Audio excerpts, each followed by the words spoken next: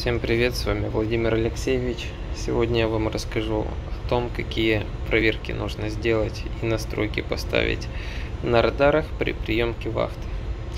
Первым делом вы проверяете, чтобы на двух радарах были разные шкалы обзора, применительно к вашим обстоятельствам и условиям. Далее проверяйте стабилизацию арпы, чтобы она стояла по воде, вот тут это меняется. Ну, разные радары, конечно, существуют. Сейчас стоит э, две оси по воде, то есть по лагу. Можно поставить по GPS. Почему всегда требуют ставить по воде? Потому что если на суда будет воздействовать течение, вектор движения по грунту, он будет отличен от вектора движения по воде. Но так как оба судна, они едут-то по воде и движутся вместе с массами воды, вместе с течением, вектора могут сильно разниться, что мешает навигации. Более того, это опасно для навигации, потому что вектор по воде, к примеру, покажет вам, что вы расходитесь в одной миле, а вектор по грунту покажет, что вы расходитесь в нуле кабельтовых. Поэтому это очень важно. Далее, если вы используете шкалы малого обзора, ну 6 миль, будем считать это шкалой малого обзора, мы должны держать радар на шорт палсе. Если же вы поставите лонг палс, в принципе ничего не изменится, добавятся помехи. Вот как тут, к примеру.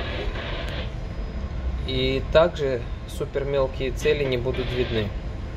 Особенно это касается радара X-Band. Далее. Проверяем, чтобы настройки мощности gain были оптимальными. Море. Вы должны заглушить море так, чтобы мелкие цели не пропадали. Ну, либо же вот сейчас я полностью уберу Rain, так как у меня C и так убран. В общем, можно убрать до такой степени, чтобы кольцо где-то в полмили CPA ваше было в помехах, в шумах. Это вам не помешает в навигации. Но если же будет вот такое вот пятно, как у меня сейчас, то это уже вредит навигации, так делать нельзя.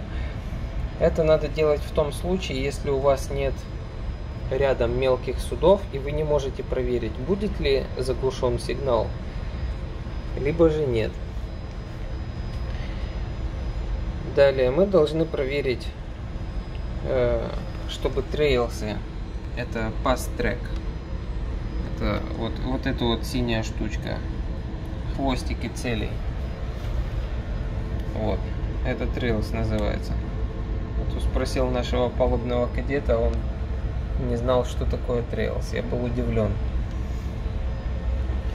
В общем, смотрим, чтобы trails ы были true, а вектора были relative.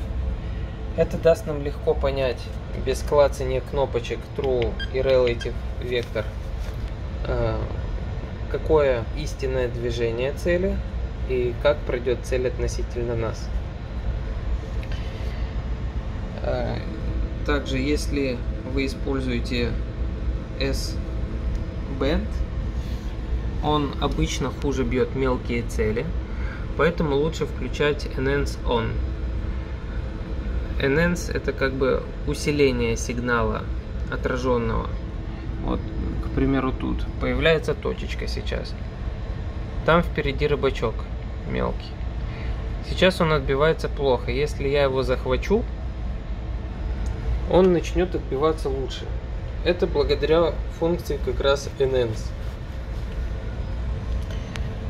Далее мы проверяем, чтобы наше кольцо CPA и TCPA стояло согласно политике компании и условиям плавания. К примеру, в открытом океане, в открытых морях CPA у нас должно быть 2 мили, TCP 15 минут для всех условий.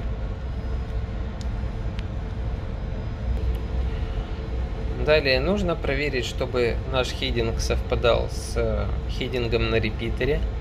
Скорость, тут стоит скорость по лагу, значит вы должны посмотреть скорость по лагу. Если тут будет стоять ground, смотрите по GPS. Значения обязательно должны сходиться. Координаты проверяйте, чтобы сходились с GPS. Вот.